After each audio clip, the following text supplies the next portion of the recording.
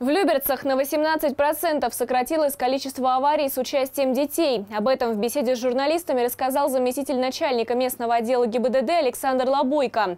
Добиться такого результата удалось благодаря регулярным профилактическим мероприятиям.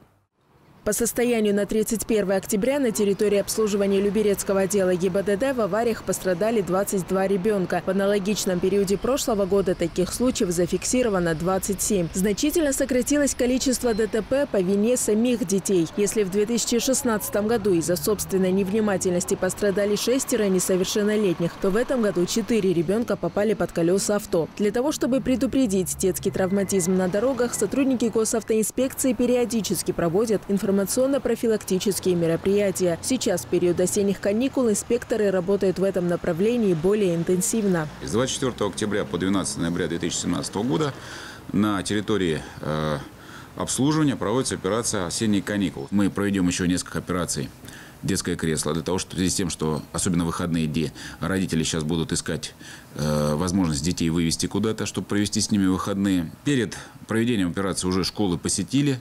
Э, еще те школы, которые сейчас еще работают, тоже посетим, проведем дополнительные беседы, обращения. Стоит отметить эффективность операции «Детское кресло». Благодаря регулярным проверкам на наличие в автомобиле специальных удерживающих устройств удалось добиться значительного снижения количества пострадавших детей-пассажиров. По словам Александра Александра Лобойко эта цифра сократилась на 50%. А для того, чтобы водители обращали пристальное внимание на детей пешеходов, сотрудники ГИБДД проведут акцию «Засветись, стань заметней на дороге», в ходе которой они расскажут участникам дорожного движения о необходимости использования светоотражающих элементов на одежде в темное время суток. Луиза Егязарян, Александр Богданов, телеканал ЛРТ.